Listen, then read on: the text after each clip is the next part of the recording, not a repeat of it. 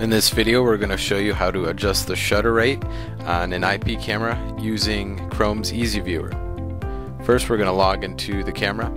We're going to first enter the camera's IP address into the browser and then log in using the camera's username and password. Next we're going to go to the top right to setting and then if you're not already on the camera conditions page, click the drop down window next to camera and select conditions. And then go to exposure. And then change the mode from auto to manual. Here you see shutter. The default setting is 1 over 30. Click the drop down window and you can change this setting based on your application. Just be sure to click save to ensure your setting has been saved. Thanks for watching.